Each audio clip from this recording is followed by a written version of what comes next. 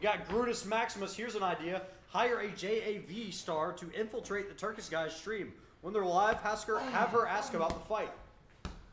Does he hang out with J- That J- JAV? That, that JAV shit was crazy that you posted. Oh yeah, Sam. One of do you remember the? Let me hit a right, a rear hook here.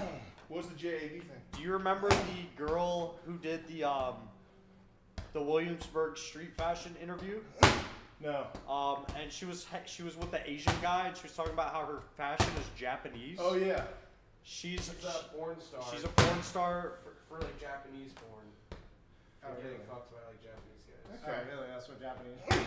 Her style is very Japanese. I think I look cute and um a little Japanese.